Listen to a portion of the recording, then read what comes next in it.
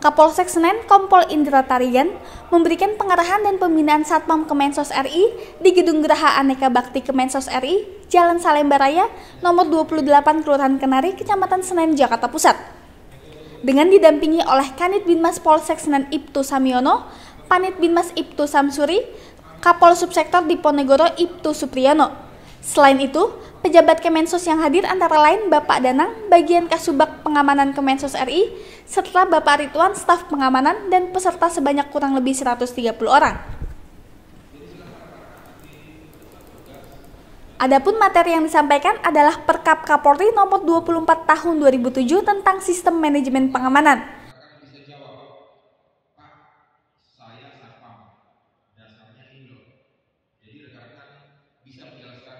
Demikian dilaporkan oleh Kompol Indra Tarigan, Polsek Senen, Salam Terbata.